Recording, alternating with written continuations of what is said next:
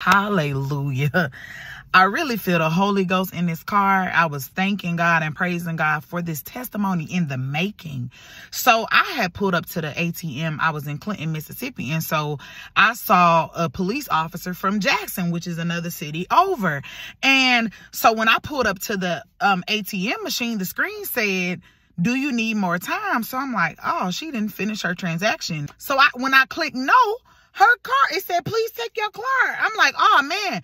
Immediately I drove, I grabbed the car, drove off to try to see which direction she went in. And if she won't speeding on down the road, I literally had to chase her down. I chased her back into Jackson, into another city. And man, it was a train coming from one direction. So I'm just honking and honking. She couldn't hear me.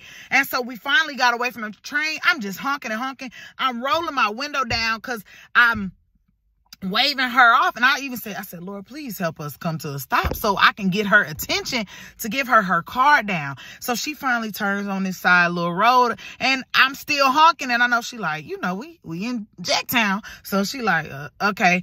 And so I just, you know, kind of ease my window down and I try to, you know, open my door slow, you know, try not do too much. So I got out the car to ask, are you Miss So-and-so? And she was just like, oh my gosh, thank you so much. She was like, I was wondering who that was, you know. She was like, but you can ride my bumper anytime. So as I got back in the car getting ready to leave, I heard the Lord say, that is how I'm about to use people to chase you down to give you what is yours.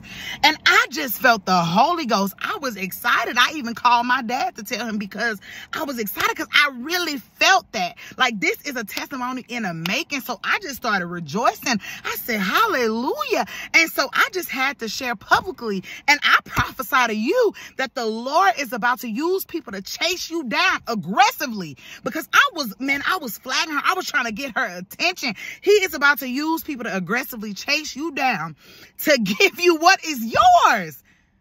And some of it is to give you back what is yours because I gave her back her card.